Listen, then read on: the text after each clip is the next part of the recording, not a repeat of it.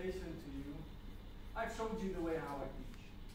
Well, you can decide for yourself whether it was fun or not, whether it was engaging or not, whether it was creative or not. I think I've provided you with some tangible experience what teaching is for me. Now today, I would like to tell you about how I perceive education. I know that this, uh, um, the name of the topic, how to make language learning meaningful and creative, is basically what we have to do. What's the meaning of not only language learning, but any, land, uh, any learning, any education? What's the, what's the point of it? Um, so I would like to share my ideas with you, and I would like to show you what teaching is to me. And if I can get anyone from you, even one person, inspired to try teaching out, although you have never tried it before, and I believe that there are many among you who haven't tried it before, uh, we will, I will be, I will be happy and satisfied.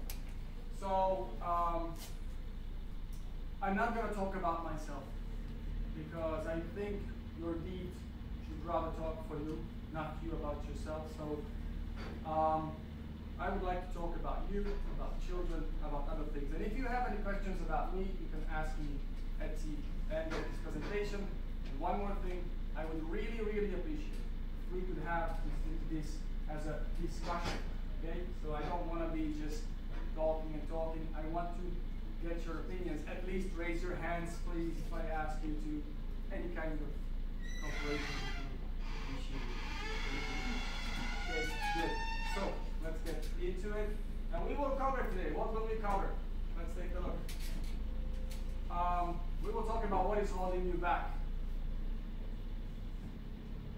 We will find we will find the meaning and get it done. We will talk about creativity and teaching or learning where to start. Maybe now doesn't make sense.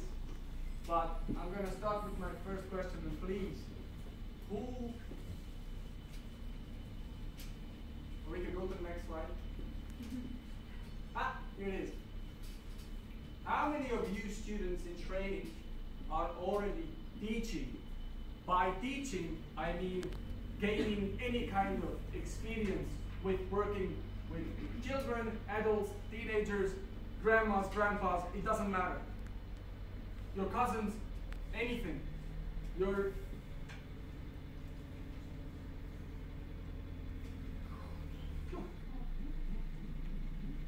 What do you do, guys? How? I train uh, football. You train football? Okay, like a coach. Yeah. Excellent. What about you? Hockey. Hockey, yeah, yeah, brilliant.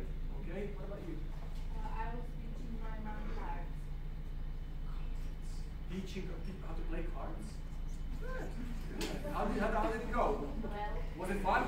Haha, good, good. Like any kind of experience. Excellent. Perfect. Perfect. So now I assume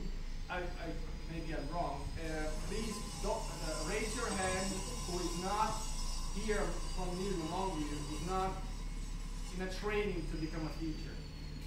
So somebody who is not theoretically should become a teacher. So anybody are students of pedagogy? Okay, Emma, you're gonna be a teacher. You're gonna be a teacher. No, I'm not. You don't have to. You don't have to study. Okay, good. So thank you very much. Now, uh, where's my slide? Slider. Okay. So, um, some of you raised your hands who have some experience, but the majority of you didn't. So my question is, what is holding you back? What is holding you back from trying out? Look, she told her mother. What is holding you back? Can anybody tell me some examples? It doesn't have to be about you, but what do you think? What can hold some of you back from being Stress of not being successful. Stress of not being successful. Successful in what? What do you mean successful? How do you Maybe the children thought that you're a bad teacher or something like that. Okay, so I, so so stress that I will not teach them anything, and then I will look silly and dumb. and useless. Jeez. oh, I felt that. Oh. What else? Excellent. What else? Do you don't have to talk about yourself. Maybe you can point at your friend. He's not teaching because Lack of self-confidence. lack, lack of self-confidence. Very good. That's uh-huh. Making mistakes, Uh, what mistakes can you make as a teacher? relativism. Mm-hmm. Look, we've got amazing teachers here. Have they? Did they make? Did they make or have they made mistakes today? No. That's it. That's it. That's a judgment. But let's be let's be critical. Okay, we are on an on, on field of academic, and I respect them. But obviously, I make mistakes. They make mistakes. Elika makes mistakes. Everybody makes mistakes. So if this is going to be holding me back, I don't know. But thank you very much. It was. I think you're absolutely right. But what I think is not important. What what you think. What else can hold students back? Body. What is holding you back from teaching? Your time schedule. Time schedule. okay. Do you have only lessons in the afternoon or in the morning? Okay. When would you? li- Okay. You. And what do you study? English and PE. And your schedule is holding you back from teaching. No, it's good. It's good schedule, but time schedule overall. Oh, overall. Good. All right. Thank you. That was a good idea. Or I think it was an honest, obvious point. Right? Okay, good. So I thought about this. If I was a student, because I was a student actually, well, as you see, I'm only a bachelor, so I'm not. Maybe I'm less successful in my studies than uh, many of you. But regardless, I've spent how many years at the university? Seven years. yeah, and I was not able to finish. Jesus, and I'm talking here today. Okay, let's go. Let's go. Okay, please. Uh, I, I'm not I'm pointing at you. So, what is holding you back? What I think, what hold, hold, what held me back from doing it? Um, we can, we can. Lack of time. That's one of the reasons I think you're right. Low wages. I mean, salary, the money you get. I'm gonna be put. I'm supposed to teach for five euros, for seven euros, for ten euros, of twenty euros maybe. I'm going to consider it. So wages. Is, uh, do you think that wages might be a thing? Yeah. Some. I'm not saying the only one. Okay, next. The year. There you go. Lack of meaning. We are going to be talking about meaning today. So, lack of meaning. I never ever assume that anyone from these students, um, remarkable people here, is lazy. Just being here shows how interested and excited you are about teaching. Not forced to come. no way. Okay. Okay. Wh- wh- which paper am I supposed to send? Take it easy. By the way, they have to send something. Yeah, yeah, yeah. Have it somewhere. Good. All right. So let's talk about laziness because we're not gonna spend a lot of time with it. But I wanna just show you what my opinion. If somebody says, "Well, I'm lazy," okay, good, fair enough. I'm lazy sometimes. Well, I can't be because my two children are continuously jumping on my back, so I can't be lazy. So let's let's let's see. Being lazy is disrespectful to those who believe in you. And I think that in each one of you, there's a person who believes in you. And if you are going to be lazy, well, from time to time, yeah, it's, it's okay. But I think this is one of the things that you, you should think about when you're lazy. Lazy, just because. Now I have some quotations here, and I want to show you. Lazy people are full of excuses and will say anything to avoid taking action. I'm not assuming that any one of you is a kind of person like this, but people say that this might be, oh, I'm, I'm lazy. No, actually, I'm not lazy, I'm just too busy. I'm overwhelmed. I'm tired. Did I have breakfast today? How so, how am I supposed to have energy? Okay,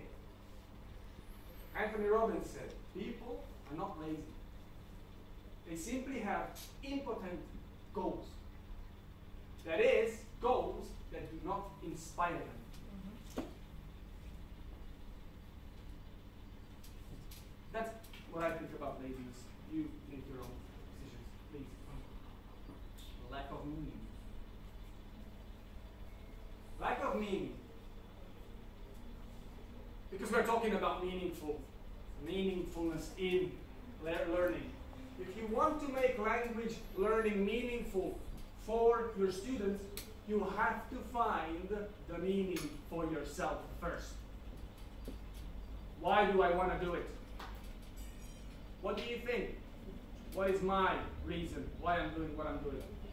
I speak four languages. I've lived abroad. I have several bartending courses in Italy. I've got several courses from other fields. Why am I doing this? This makes me a millionaire? Do you think this is Enjoyment. why? Enjoyment, love, art. Uh, sometimes, Have a meeting. uh, sometimes because I'm desperate. Sometimes because I, I have a lot of fear in me. And the only way how I can cope with this, that I'm trying, I'm trying to teach other people to be more open-minded, more critical. And I'm starting with children. And I will tell you a very short story about this. In 2008, I came back from Italy. I worked there for two years, and I started my studies again. I studied physical education and English language from 2004. I left because I had I saw no. Do you have you ever had this moment when you went to an exam, you failed, and you went outside, and you heard your friend saying, "Were you able to copy? Were you able to copy?" Yeah, I, copied everything. And once this happened to me, I was like, what the heck is this all about? What is this about? Copying, it just, at, at a moment I said, forget about it, this is not for me. So after two years of studying physical education and English language, I said, ah, I need to get out of here. So, in 2008 I came back because my mother was calling all the time, when are you going to finish your university? Like, leave me alone. Is this the point? Is the diploma the point? The paper. See, you've heard it, huh? So I came back and I'm saying, I'm gonna do it for myself. Okay, good. I started teaching in 2008. I taught for two years, and it was great. It was fun. I taught adults, brilliant. And then I wanted to challenge myself because I thought I'm a fantastic teacher. Two years of experience, huh? ah, look at me. So I said, I want to challenge myself. How would you challenge yourself if you wanted? You have some experience with adults. How would you challenge yourself? What do you think would be challenging for you? Those who teach. Kids? Do you think kids are challenging? Okay. Anything else? Kindergarten kids? hmm le- uh, learning difficulties. All students with difficulties. Now, what about what about old people? Hmm? What, what about what about old people? So what I did, I went to Klokočina, and I went to um, two, um, I don't know, uh, uh, care senior houses. Yes. Once I was afraid to get in, and you know I didn't know what to do. And with the other one, the one which is opposite Matica there's a huge one. And um, uh, I went there and I met the director. She was outside. And she's like, hey, can I help you? I'm like, yeah, yeah, yeah. I would like to um, uh, teach uh, old people English. and she's like, come on, come have a walk with me. So I had a walk with her. We were talking. And she's like, she's like, why do you want to do it? I told her. She's like, uh, um, what are you doing? I'm like, well, I want to challenge myself. I want to show that I can do it. She's like, but with these people, they are about to leave. They are finishing their lives. Why do you want to spend the energy you have on them? And I was like, they deserve it. They don't, they deserve it. But they, they're less than me. So yeah, I was disappointed. I left. And then I started uh, thinking, and I'm sorry that uh, Dr. Ka, uh, Rizkova is not here because at the lesson of uh, uh, children's literature, we, we were like as many as you, translators and, uh, and, and, and teachers, and we were talking about books, Winnie the Pooh, the good old Winnie the Pooh, black and white, and then how colors come in. And I thought about manipulation.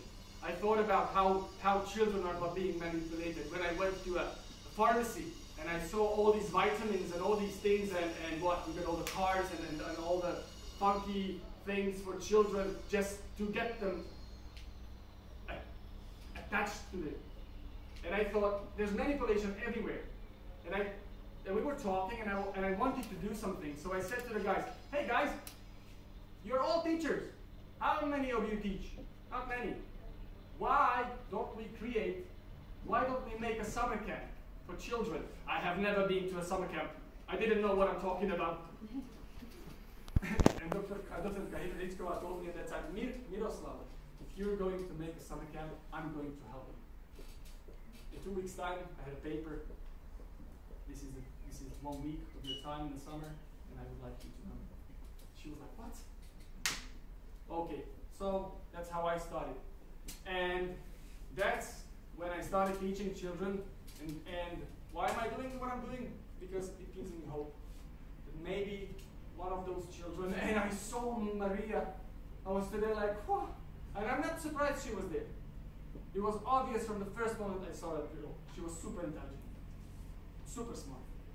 So I do what I do because I sometimes have fear in the future, what's going to come. And I think we need to be as one.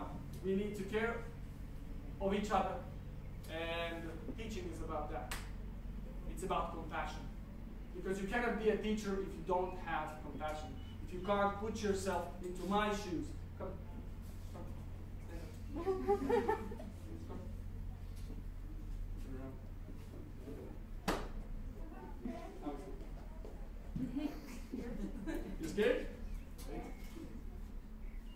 I am fine. Thank you. Thank you. So, okay. So if you want to make language learning meaningful for your student, you have to find the meaning in yourself. Whatever that meaning is, I don't know. I'm gonna help you with Mr. Einstein. See, that was a clever guy. That was a that was a clever guy. Education is what remains after one has forgotten what one has learned at school. So whatever you think, what I'm gonna teach, what I'm gonna teach, what I'm gonna teach, they will forget that. Well, if you're an ordinary teacher, or maybe a bad teacher, but if you're a good teacher, you might keep something, or they might retain something from what you said. Let's have another one. That is, this is this is J. Krishnamurti. I assume you have no idea who he is. Well, if you want, take a look.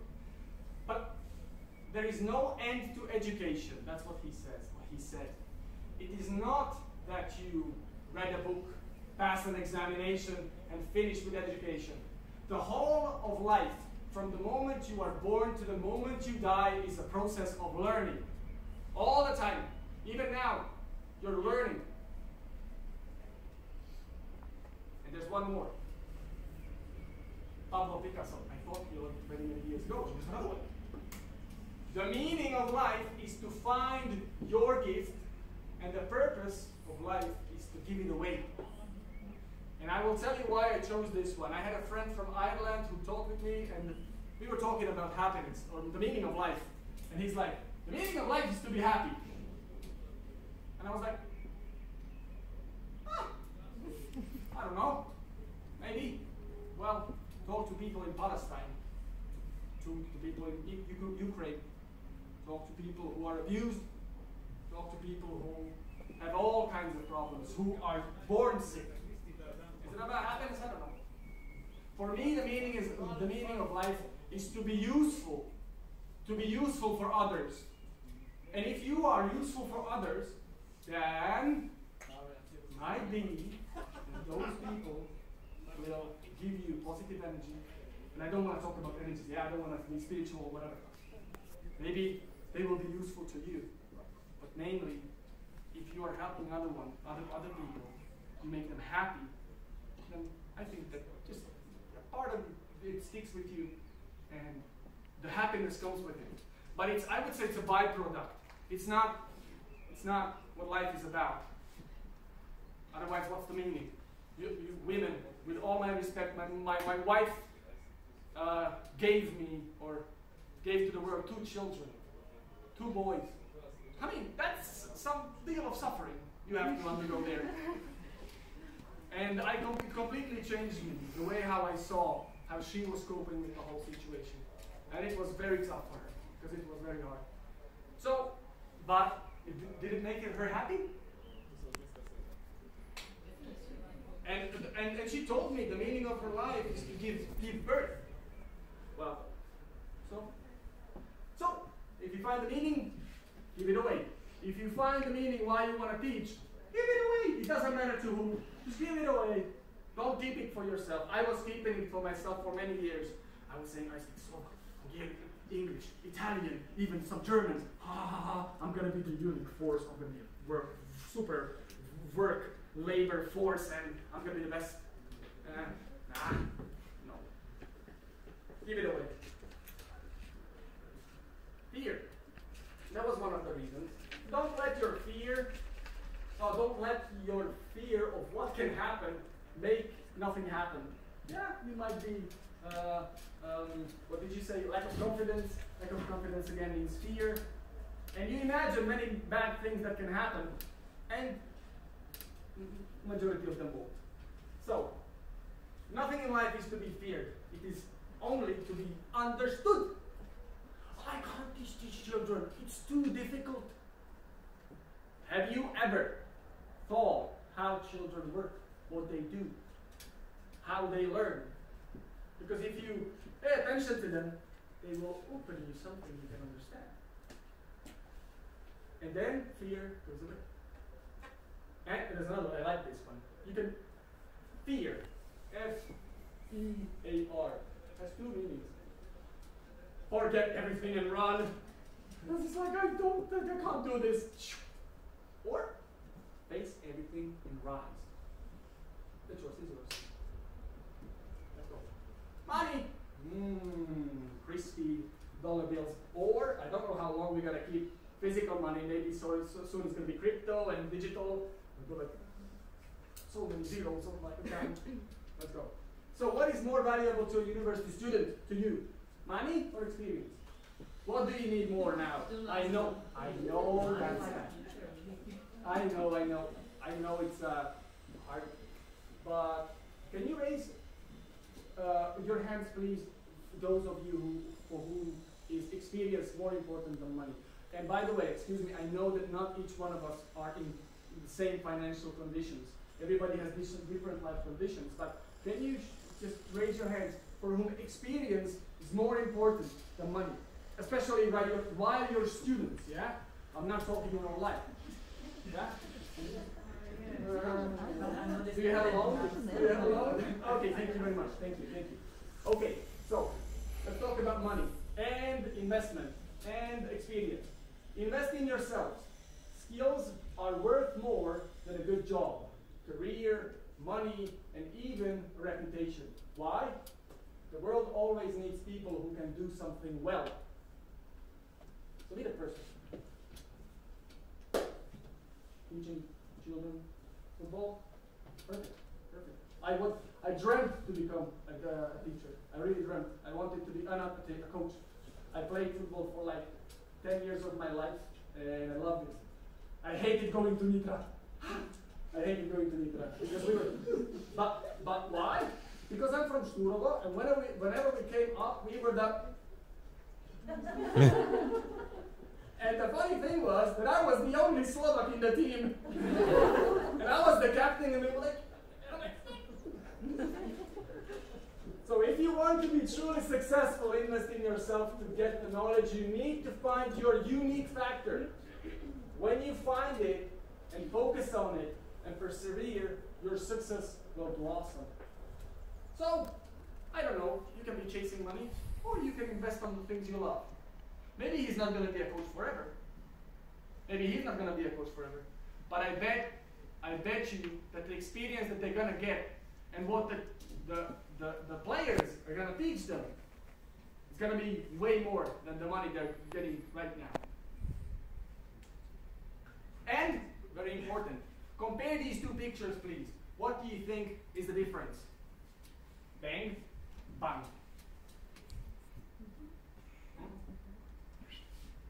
I think all of you can do this. How many of you can do that? And what do you think? Um, in this process that's happening now, I'm not saying she's not learning. She might be learning some great skills. What skills can she be learning right now? What? Prepare a hamburger. Is that all? Is that Business. All she's learning?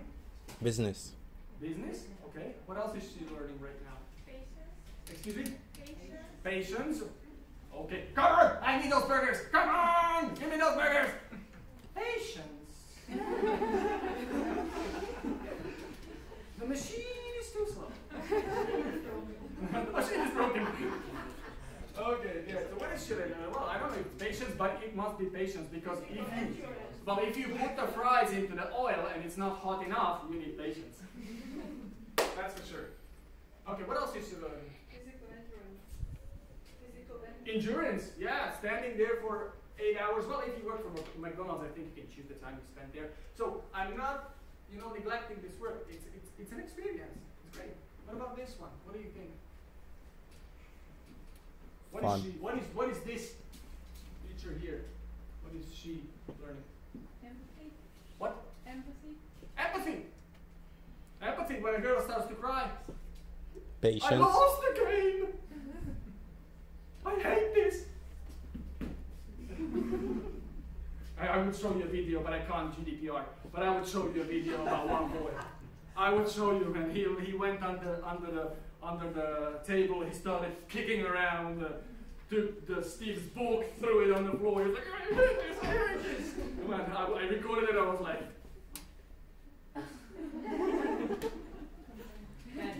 Wow, I- well, so we had several bad days, but now, and and I can't I can't tell you who that was, but you've seen him. That's it. That's it. I'm not gonna say anything more. Okay? I'm not gonna say anything more, but you've seen him. Okay? That's all. Okay. So she's learning empathy. Anything else? Playfulness.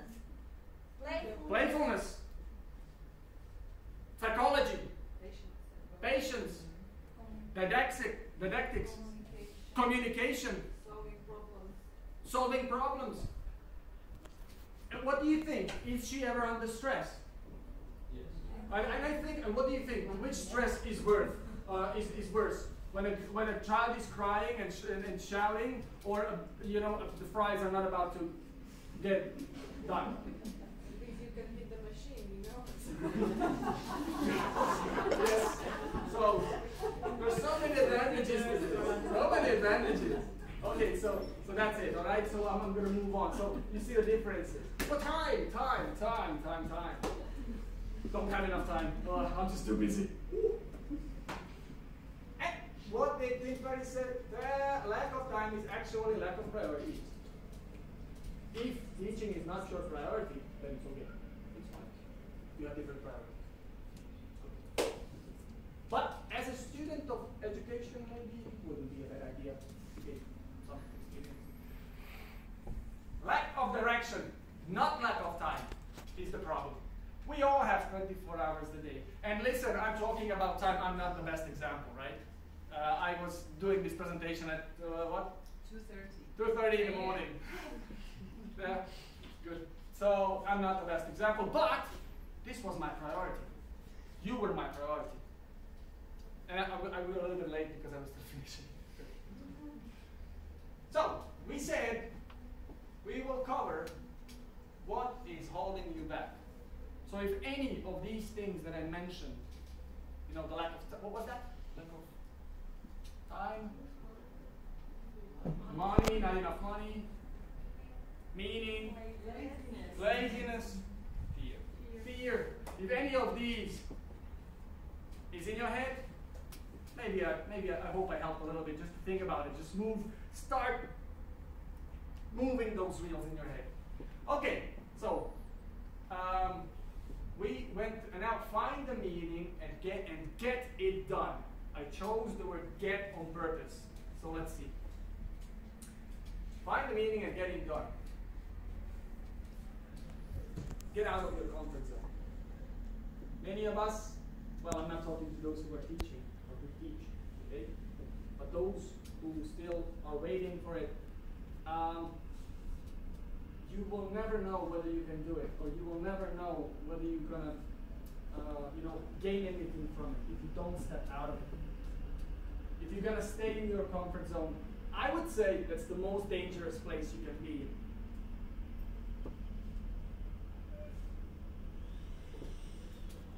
Get to know your students and their needs or expectations. This will be another thing we will talk about. Meet the students' needs and get them motivated. Use creativity and get them to learn more. And let them use the knowledge you provided them to get what they inspire for. So if we want to have meaning, this is what is meaning in education for me. Not all, but the majority. And I'm going to explain to you in details what I'm talking about, please. So get out of your comfort zone. You can see, that's your comfort zone. Here, nice and cozy. Don't get in. I'm here. Lack of self-confidence, fear zone, uh, find excuses, be affected by others' opinions. What he's going to think of me. I like Jacob, he did it. And he didn't care what, you know, anybody's going to think of him. He did it. He became a bear. He became a bear. Man. So, we've got the fear zone, yeah, which, which, which won't allow us. Then we've got the learning zone, deal with challenges and problems, uh, acquire new skills, extend your comfort zone. This is where you learn. This is the nice one. And then comes the best, then you grow. Because from learning, you grow. So when you're gonna teach and your students are gonna learn, they're gonna grow with you. And it doesn't matter if it's going to be for one week. It doesn't matter if it's going to be for five months or five years or whatever. You need to do your job the best you can at the moment, and that's it. Get out of your comfort zone. Coming out of your comfort zone is tough in the beginning, chaotic in the middle, and awesome in the end. Because in the end, it shows you a whole new world. Make an attempt. Just try it. Okay? And this is about the money. Here is an uh, equation I want you to remember for the rest of your life. Comfort zone equals wealth zone. It means your comfort zone equals to your wealth zone. By expanding your comfort zone, you will expand the size of your income and wealth zone. Now, let's say how many how many uh, teams do you coach? Two. Two right now. If you are going to become better, and you're going to be more devoted, and you're going to teach or train, excuse me, your coach, not two teams, but six teams. Is it possible? Is it possible time-wise? No, No, currently. yes. But when you finish, I don't think because I want to I want to teach all I know just to one team and they will be perfect instead of teaching six teams and they will and if you are going to be superb because you're going to learn from the children, and they are going to be better because they learn thanks to you, will the parents will be willing to support you? Do you think will the parents will be to support you to have a better life? Yes. And by stepping out of your comfort zone, working on yourself, you are increase your proficiency, your skills, your qualification, and that obviously increases your value. And people, when they see value, they're willing to pay for it. So that's also together with the comfort zone, right? Let's go. Uh, so the first one was get out of your comfort zone. Now we're gonna talk about get to know your students and their needs or expectations. Um, excuse me, I forgot my Ukrainian friend. I forgot your name. Yeah, Artem. Uh, you were asking about get to, you know how to approach, how to start teaching, what to do, what to do. Yesterday you asked Richard, right? So get to know your students and their needs or expectations. It doesn't matter if you're gonna learn uh, teach a child or you're gonna teach an adult or an adolescent or an old person. even with your grandpas, you can talk in English about things, and you can teach them things, things, things they like, maybe some stuff in the garden. Yeah? And they're gonna enjoy it. So, but more than anything, people want to be heard and understood. So like, how, am I, how, how, how, am I, how am I to do, how am I to start? If you want, if you have a new, this is my new student. What do you think? Am I, should I approach her like, hello, I'm the best in the world? You're gonna get all you decide from me. I don't want. I'm a teacher, I'm a teacher. Eh? But if I'm gonna be talking about myself, I've achieved this, I've, I've, I've did this and this and this and this. Will, will she really be fascinated by me? No. Well, I might think she's fascinated by me. But if I ask her, do you want to learn English? No, I, I asked her, do you want to learn English? Yes, I want, but not with this teacher. Not with this attitude. What's the problem? Okay. no, again, what's the problem with You're too me? big self-confident. I don't like it. Ah, okay. Okay, good. So I'd rather go. But if I ask, would you like to learn English? Yes, I would like. Why? What do you need English for? Speaking during holidays, for example. Oh, holidays. How, Yeah. how often? And I'm much more. Uh, oh, maybe How often one, do you go? maybe How often one- do you go? Okay, once a year. not so Once a much. year? But, but for example, I, I want to speak. Uh, a lot of people speak English, and I want to speak English with them. It's um, it's basic thing this time. I Oh, think. okay, so you want to Mm, talk. I want to know it. Yeah. Uh huh. Okay. I And have you want- have you ever taught? Uh, have you ever learned English before? Yeah. Yeah, you have. So you want to improve your English skills. Yeah. Yeah. Uh huh. I try. Okay. Good. And do you know, for example, what kind of But level I you don't are? have enough time for that because I'm a wife and the mom too. Sorry. but- That's hard. That's hard. Yeah, I have a yeah, wife. They are my That's hard. priorities, yes, but, but I try. But but Not every day, but for example, I watch English films. I, I try to improve. my she's lovely. vocabulary. She's lovely. Just, just so she won't stop talking. I'm, I'm a And I teacher, hear sorry. and I understand. Or at least I'm pretending. but no, I understand. Okay, so uh, if you want to understand your, your, your students, listen to them or to their parents or to their surrounding or whoever. Now, if you don't understand, ask questions. If you're uncomfortable about asking question, questions, say you are uncomfortable asking a particular question and ask it anyway. It's easy to tell when a question is coming from a good place. And then listen to some more. Sometimes people just want to hear or feel heard. Here's, uh, here's the possibilities of friendship and connection and understanding. So this is what I said, and this, this is why I introduced you. Because maybe if her sister wouldn't tell her that I'm gonna call, she wouldn't talk to me. But her sister is my friend. And her husband is my friend. And he used to be my student first. And now I know that I was born on the 16th of April, and Mr. Roman, I'm not gonna say his surname, GDPR, Yeah. is born on the, do you know when he's Don't born? say it. Do you know when he's born? When was he born? But no, when? When? Uh, I don't know. He's, he's anyway, the last, my, not my sister, my brother-in-law. Yeah. Roman. Uh, Okay. he's 50, 52 years old. Very good, but when, what date? I'm gonna tell you. I soon. don't know. You don't know, he's your, he's your brother-in-law. Sorry. Never mind, just joking, just joking. I, I'll tell you in a while, okay? Okay, I'm 16th of April and he's 17. So anytime I have my birthday, I know the next day Roman's gonna have birthday, so I call him up. Yeah. So it's it does- is he my student now? No, not anymore. And he helped me so much, so much. Good. So get to know your students and their needs, their expectations. Compare the needs of ah, we're gonna compare now. Please, one, two, three, four. Very quickly, okay? Uh, very young learners, young learners, teenagers, adults. Honestly, I don't know if I got the ages ages right, but approximately that's how I I personally uh, approach them. Very young learners, age 3 and 5, young learners, 6, 10, 11, 19, and 20. Now, try to imagine this one. We were talking about the comfort zone, okay? Comfort zone. Get, get out of your comfort zone. Um, what do you think if I'm going to be, you know, I'm- going to be with a child, five year old, and I say, get out of your comfort zone. Get out of your, out of your comfort zone. You can do it. You can do it. Is that going to work? It's not gonna work. or we learn a lot of a lot of. Uh, for example, you adults, you can be sitting here for 45 minutes, 50 minutes, 60 minutes, 70 minutes, and you can listen to a talk. You can follow my follow me if I'm good enough to interact with you. Can a three and five year old sit here 45 minutes?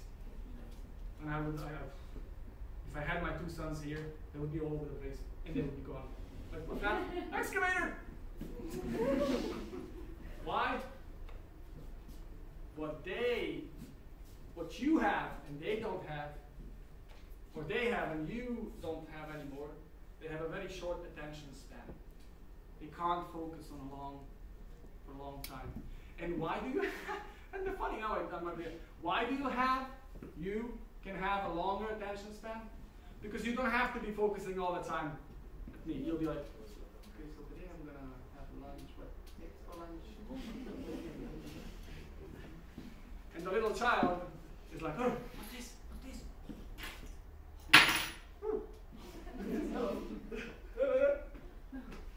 oh. It's funny when you play music to them. And they're like, oh,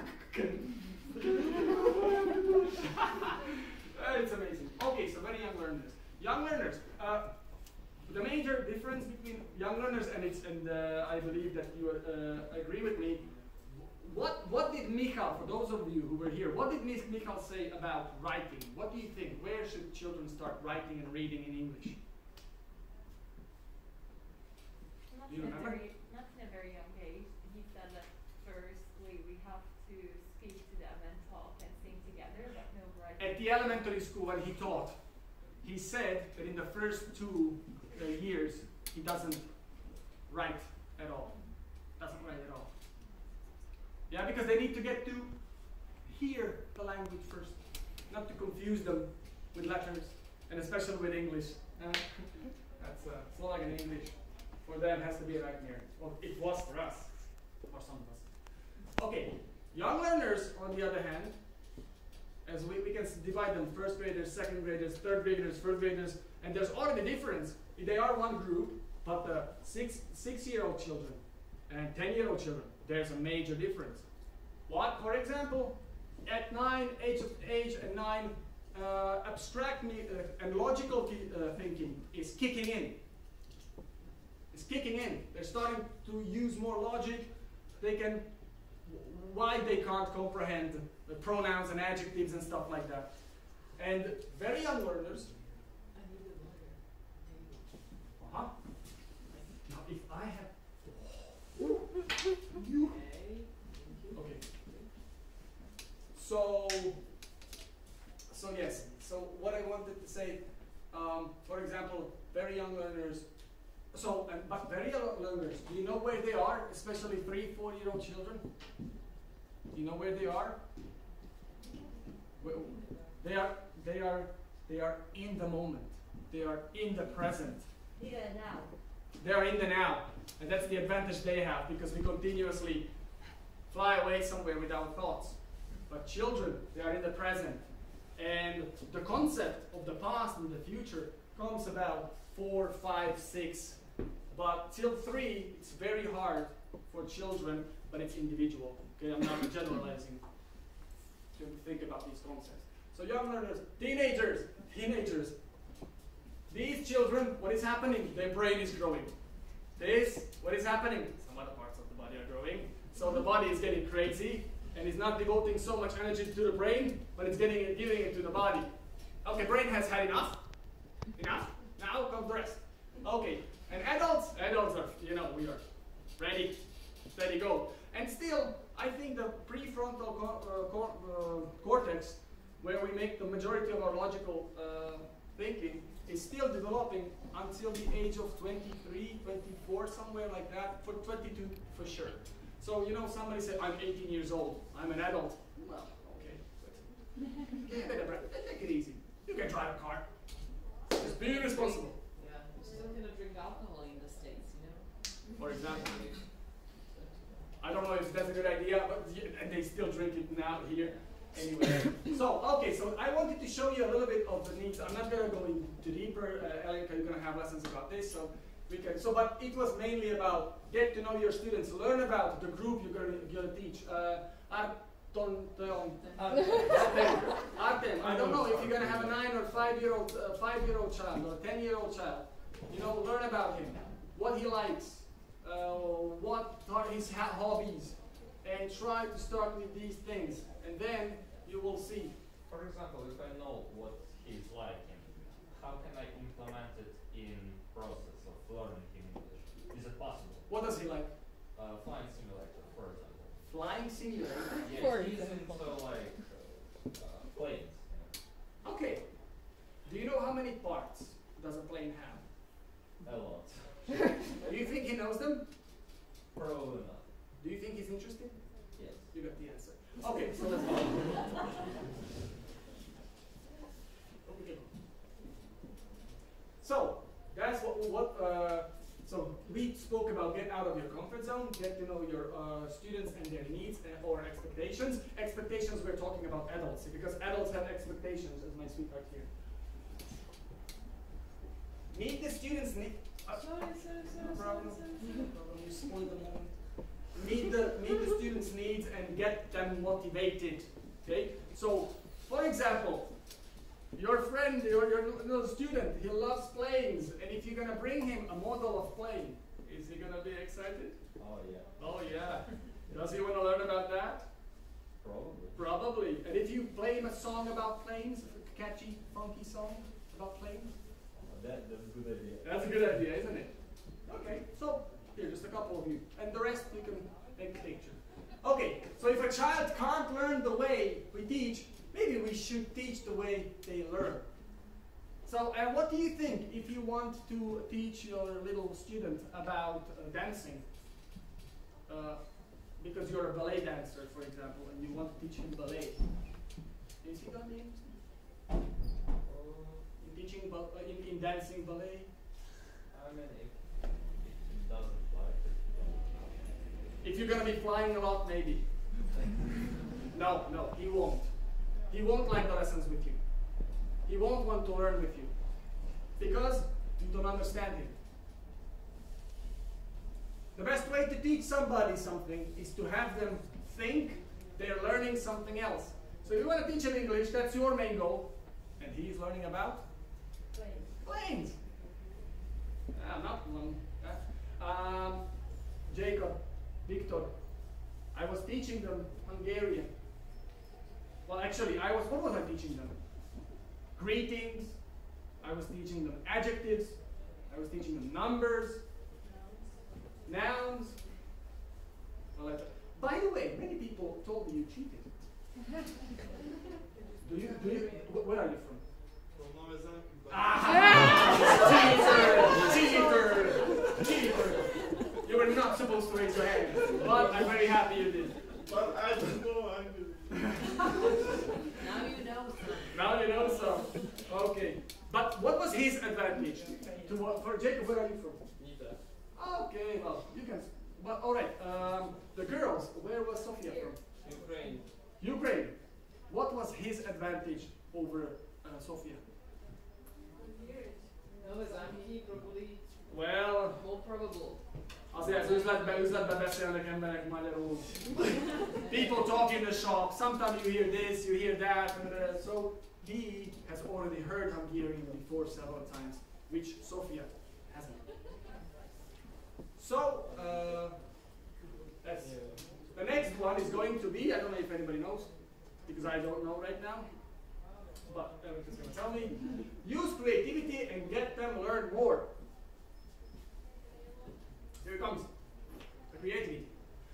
I believe if we are able to find a way to value creativity in education, we will ignite joy in teaching. Now, we will later on learn that creativity is fun, is play, is joy. And how are you how do you want to learn? Or how do you want to teach my child? Somebody asks me. And I will say, I'm gonna play with I'm gonna teach through play. Am I supposed to pay you for playing? Am I supposed to pay you for play. That was, I've heard this so many times. So many times. So I believe if we are able to find a way to value creativity in education, we will ignite joy in teaching. And we'll, unless we don't value, Jan Amos Komensky said hundreds years ago that we should teach through play. He knew it. I know, no, no, no, it's not the way. Sit down, open your books, let's do it. I don't know. I don't know. Oh, well, we know that. Okay. Now, this is a very interesting guy. We're going to watch a short video about him. Not about him from him. Teaching for creativity involves teaching creatively.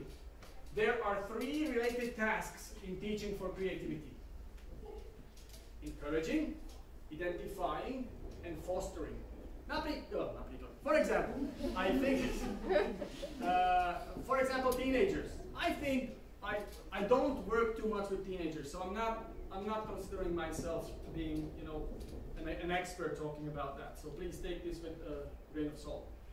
But I think they like to be creative. For example, Mikhail said that when they uh, need to make videos and some pictures, editing, well, it, it- they get the spark and they want to do it.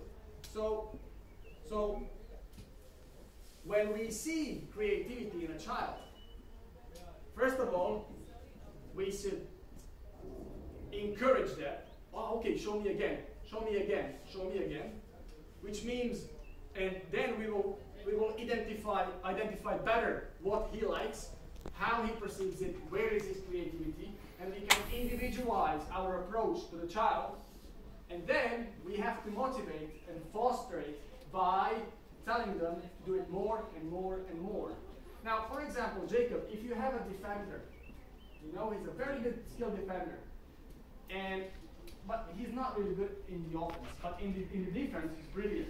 Are you going to be pushing him and pushing him and pushing him and pushing him to score goals and into those positions? No. Well, sometimes it's good because he might get into that position, but it's not the main task of his in the team, right? Or so you might sometimes give him the position of training or something. Uh, not much. Not much, but that's what I'm saying. Not much. That's not your priority. Okay, because that's you're not encouraging and fostering that what he's good. Your defense is better. Okay, you get that. Let's move on. So the last one.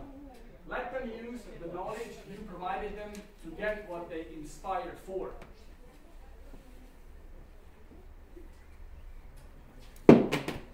I don't know if I'm a good or a bad teacher. It's not up to me to decide. A good teacher can inspire hope, ignite the imagination, and instill a love of learning. If I put any kind of picture into you today, it's gonna stuck with you at least for the next one or two days. Maybe you will remember, oh, this crazy guy who was teaching us in here. If I did something and achieved something, made sense. My, my, my being here was meaningful. And that's why I came here. And we have to motivate our students. Our main goal is not how much I can teach, but how I can motivate the child. Because maybe, but I'm just saying maybe, little Mary, when she had lessons with me, she was sweet. I, I loved her. She was great. If I sparked and motivated her further to you know, work on English, and if Steve, together with Steve, we, did, we made it and we did it, and I know she watched the videos, it was all worth it. Oh, and, and excuse me, and excuse me. And There's very important part of this sentence. Motivation is what gets you started. So when I motivate, for example, someone from you to try out teaching, that's great. But habit is what keeps you going. So if you find creativity or something in a child, you have to help him and motivate him and encourage him to do it again and again and again and again. And then the lear- learning process will be something that's automatic, enjoyable, and it's not forceful. For example, we in our courses, uh, many people are surprised that our children, Martin, right or wrong, like to do their homeworks. Right or wrong? Not all of them, but Yeah. many. Yeah. Not all of them, but many. Yeah. Okay. So what I'm doing, in, or we, what we are doing, we are creating a habit of doing your homework. We are motivating them. We have our motivational system, but that's about something else. So, uh, no, no, no, no, no. Please, excuse me. I don't want to be. So, so now I'm gonna try to. Uh, by the way, what's the Twelve six. So we still okay. so I'm gonna try, uh, close this part by say if you as a teacher and these are my words, so I need to write them down because I don't remember. If you as a teacher have done everything right, not perfect, but right and doing the best way you can, then you have provided your students with all the necessary skills, tools, and ideas to be able to achieve and reach all the goals they really inspire for deep inside. But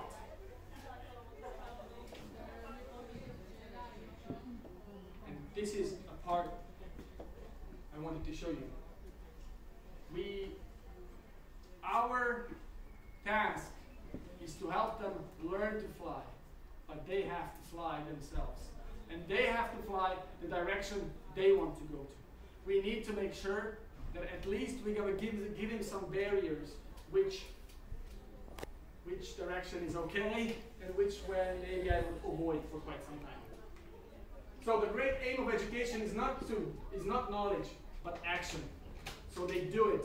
So they keep the habits and do and learn. And then, as Mikhail said, his student is going to become, he has become one of the best surgeons. It's not because of Mikhail, but Mikhail, made him understand why English is important for him, then he made a great, great, great service to the society. Because maybe I'm going to be lying under the surgeon's uh, knife one day. Maybe not. But there's a but to what I've said before. Be aware of a very important thing we all ought not to forget and always keep in mind. Education is rather than knowledge more about principles, morals, and values. Not about knowledge. And I will show you an, a very, very, very uh, strong example which is which has haven't I think has never been in the past in my lifetime more actual than now. Please, and I'm going to read this for you or to you. They say it's worth reading twice. I think even three times. What is education? At the end of World War II, this letter was found in a Nazi concentration camp. It is addressed to the teachers, to you as well. I am a survivor, survivor of a concentration camp. My eyes saw what no man should witness. Gas chambers built by learned engineers. Children poisoned by educated physicians. Infants killed by trained nurses. Women and babies shot and burned by high school and college graduates. So, I am very suspicious of education. My request is, help your students become human. Your efforts must never produce learned monsters, skilled psychopaths, and educated, educated illiterates. Reading, writing, arithmetic are important. Only if they serve towards making our children more humane.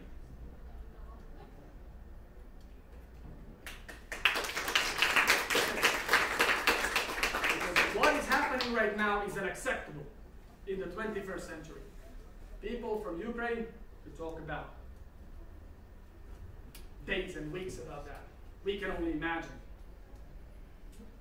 So, that's education for me and for the one who survived. And he is me. Because if I was a Jew in that time, I would be dead now, most probably.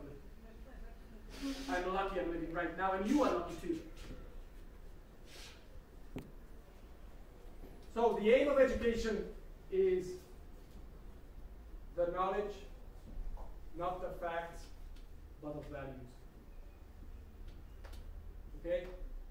So that was about what is holding you back, find the meaning and get it done. And let's talk about creativity a little bit more positive. Okay? So creativity is that intelligence having fun. That's what it is. You just need to have fun. You are intelligent, all of you. And your children are intelligent. And voila, they're more intelligent than you. More intelligent than you. You're just ego with never accept it. But that's the way it is. A little bit more about creativity. Creativity is experimenting, growing, taking risks, breaking rules, making mistakes, and having fun. Who does this remind? Experimenting, growing, taking risks. Don't go there or you will hurt yourself. You're gonna break your leg. Making, breaking rules. I'm gonna do it anyway. Or don't open the door. Don't open the door. Don't open the door. What do you think? The child will eventually open the door. Yes. okay. So it's about children. They make mistakes. They have fun. They break the rules. That's what the rules are for. And our task is to show them that I, I, wouldn't I wouldn't just go this room. Just here. But if you go if you're going to, all right. But if you you know break your leg, I told you. Well, obviously. You're gonna break your leg. I told you. okay, let's go to the hospital. Alright, so no. about creativity. If you break your leg, I'm gonna kill you. uh, but we're making fun of it. But one in one of the summer camps, one of the girls, uh, Tulipanova, she broke, broke, broke, broke her arm, and it was very like it was very very uncomfortable. Very, I mean, painful for her, but painful for me too. But her mom, mom was great, so it was. So about creativity, and now I'm gonna show you two videos, short videos, okay? So, can, can uh, do schools kill uh, creativity. You can watch it later on and The Curse of Creative People by uh, Jordan Peterson. So because we're talking about creativity, creativity, creativity. Hey, okay, I'm not, I'm not, I'm not all in, in, in, in I'm not seeing everything pink. No. I, I don't know if it's going to work because it's on YouTube. Oh, okay. Done. We're not gonna watch this. But I, uh, well, I, I suggest you watch these two videos. They're going to be 100% beneficial. Do schools kill Creativity and The Curse of Creative People by Jordan Peterson. Okay, we can go back. Mm-hmm. Right? Oh, well,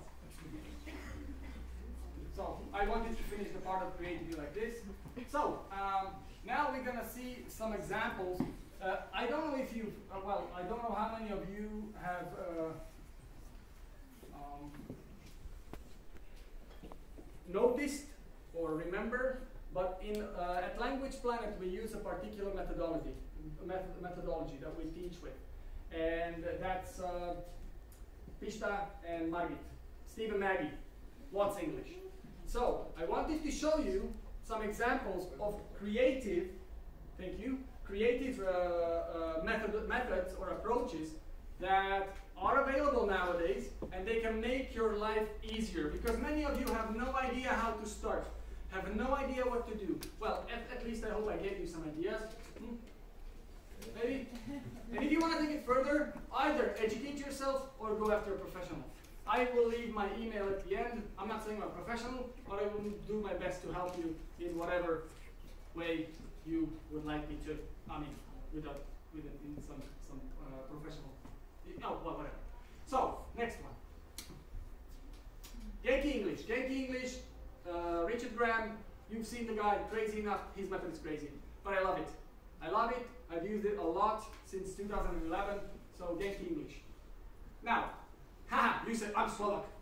I cannot be creative. I cannot come up with anything creative. There you go. Anglichanina. what's her name? Maria Podratska. Sometimes I sometimes I envy these guys. They're crazy, but they, it's you can say and tell that these are teachers uh, by heart and soul. And she's actually an English teacher. She studied Slovak and English. She studies? Studied. Studied. Studied. Okay. So that's one more. And for those of you, well, I'm, I'm recommending just the things that I've tried and I can tell you. And there's one more for adults that if you want, would like to try out, please one more. There's going there's a direct method for English. Direct method is a teaching approach which is direct. So you work with ask, uh, you work with questions and answers. There are different opinions on this method. Some people love it, some people hate it, but it's you know some people love me and hate me. Like it's all everything. Nothing is, you know, black and white. Well, what I what I what I'm saying is I personally use this method for over seven years, and I understood the positive parts and the techniques in it. It's not good for everything. It's not good for, for example, more advanced student or preparation for exams and so on. But if you want somebody, if you want to make someone speak, and he's a complete beginner, it's useful. It can be useful. So, so that's my advice for those of you who would like to see some examples of creativity. Okay. Now, about creativity, this is, uh, I'm the ambassador for What's English for the region of Nitra, and I wanted to show you this uh, guy. I wanted to show you his video. Unfortunately, I don't have internet, so I can't. Steve Watts.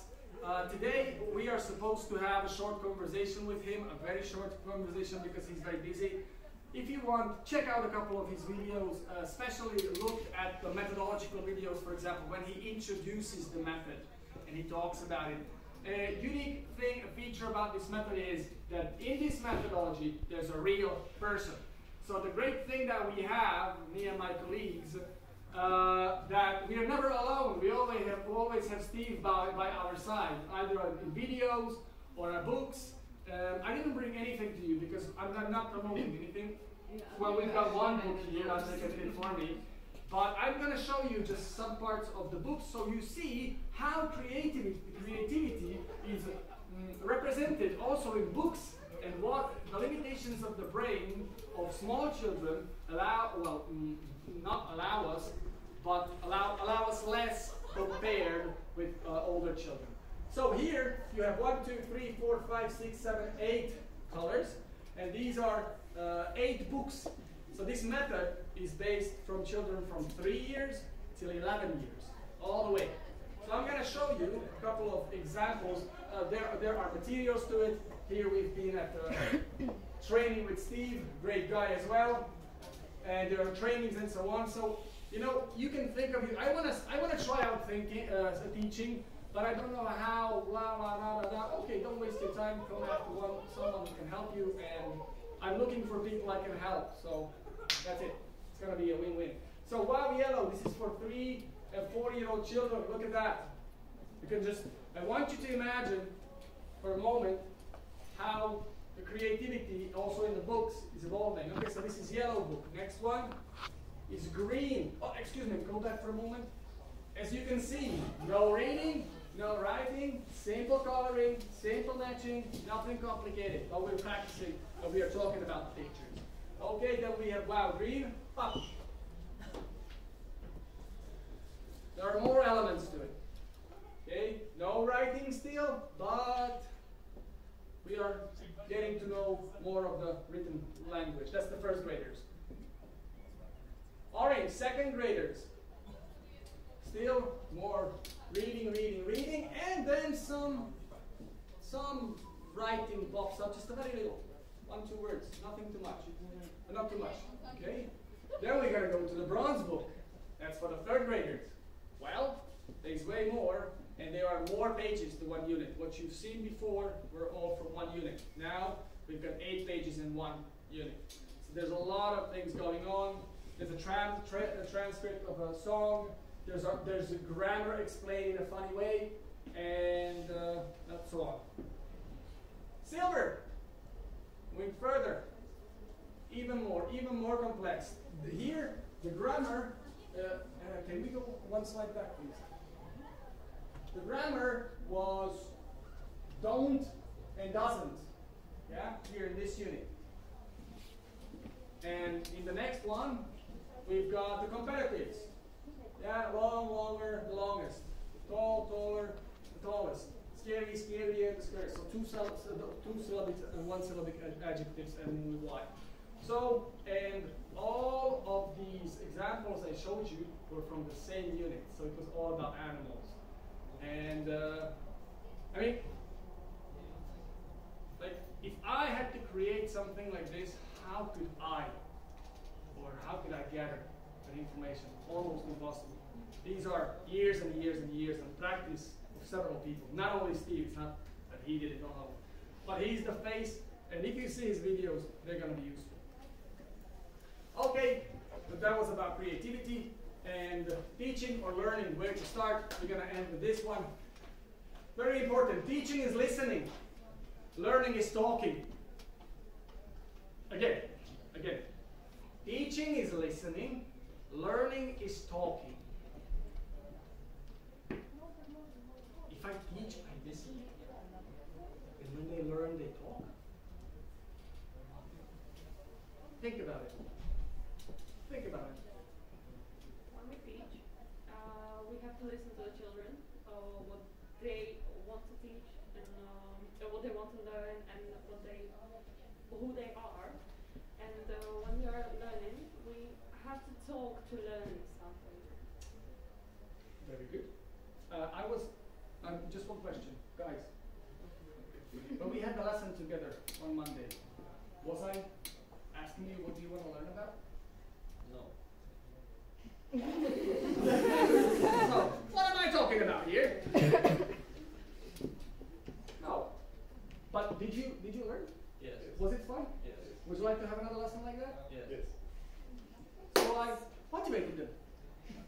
Okay? But teaching is listening. When we, for example, practice, and I give them, and I was asking them, do, do you remember those of you who were here when the guys were asking about how is the guy in the picture? Or, or no, what is he doing? Micsinál, uh, micsinál, uh, ugrál, uh, Tapsol. uh, tapsol. they they were making questions and I was listening to them. I was listening whether they were doing it correctly and what did I do when he gave a, que- a great question or he correct question. I gave him the answer and then I praised him. I praised him. So teaching is not only listening. First we have to demonstrate, but it's important to let the people speak because otherwise it's only me. Okay, now it's a presentation, it's a little bit different. What from time to time I allow you to. And don't forget, teaching and learning are two sides of the same coin. So whenever you're gonna teach, you say, I, I want to try it out. You're gonna be learning. And whenever your students are going to be learning, they're going to be teaching you. So it's, it's vice versa. They're human beings. And you will see what works. Like, for example, if I saw that they are not capable of saying who is he or what is he doing, then maybe I wouldn't be pushing in and I would go to another, maybe a more, a simpler version or, or something. Okay? Because I was listening to them and I was learning what works on them and what doesn't work. So, teaching and learning, you are getting, it's a win-win. And if you don't win, you learn. Hi. So, last I think. Who dares to teach must never cease to learn. Why? Because we, times are evolving. I was asking uh, Andrejka, children 20, 30 years ago, were they different than they are now? Do we need to use different approaches than now? If you take a 10 year old child 20 years ago, 30 years ago, a 10 year old child now, is there a slight difference? Children don't change. Maybe psycho- psychologically they're not different, but they got some extra help in the pocket. And that, and that changes a lot in the brain. So originally they are the same, but it's the environment that changes them. And, it, and we can ask the question, what do you want? The children that are growing right now are going to be influenced by gamers, uh, TikTok influencers, um, it's Instagrammers, or by you. You can choose. But I, I guarantee you, I guarantee you that if you leave those children, if you say, I don't care about them, one way, sooner or later, it's get back to us. It's gonna be like a freaking boomerang. And that's the different responsibility that you, as teachers who are learning or, or studying to become teachers, at least you're taking the space. Those of you who don't want to do it want to get the paper, and I'm not going to do it any, any, uh, any, anymore. And I'm not saying be a teacher till the, till the of your life, but at least while you're studying, give it a try. And maybe at the end of the day you don't like it. I didn't want to be a teacher when I started teaching. I wanted to rent cars. and I ended up here. So, who dares to teach must never cease to learn. And we learn 10% of what we read, 20% of what we hear, 30% of what we see, 50% of what we both hear and see, 70% of what is discussed, 80% of what we experience personally, and 95% of what we teach to someone else. Do the math. How much time do you want to spend learning? Right? And by taking into consideration your brain, yeah? Because you see the difference into different, uh, it, it reacts differently to different input. And the best way to learn is to do the, uh, yeah, so the best way to learn, uh, the best way to learn is to do, and the worst way to teach is to talk. So I think I'm, uh, I have been talking en- en- enough. Take a look. I hope I have no other slides there. oh, oh God. Thank Just you. on time. Just on time. Uh, so that was how to make language learning meaningful and creative. I hope it was useful. My name was Miroslav Krsnak. Uh, I'm from Language Planet. If you want, uh, you know, get in touch with me. I will be happy to answer your questions. I will be happy to meet with you. We are here in Nitra. Uh, there, there is a great possibility that some of you who want to try it out is here. I'm not going to talk about it right now, but I have some great possibilities for those of you who would like to try it out. Uh, we will see how it works out. And the last thing, I started teaching English in 2008. That's when I started as a student. And in 2011, I established Language Planet. And from a nobody from Sturovo, I'm just a teacher, enthusiastic. I was living for what I believed in. I got the award top language school six times in the past six years. Twice we were third, twice we were second, and twice we were first. The last one, 2021. Oh, these all were in the region of Nitra, okay? All, all five, all first five were in region of Nitra, but the last one, we won the whole Slovak school. I'm not saying this to brag about myself. I'm humble about what we've achieved because there was loads of hard work in it. And to be honest, uh, do you know what is the top moment of my life that I'm gonna show to my parents?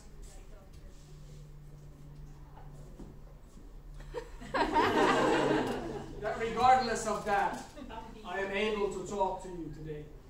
And I greatly, greatly thank to Elenka and to Mary for this chance. I thank you for listening to me, and I really, really hope that maybe, maybe some of you will decide just to give it a try, and maybe we can do some meaningful and creative things together. So thank you very much.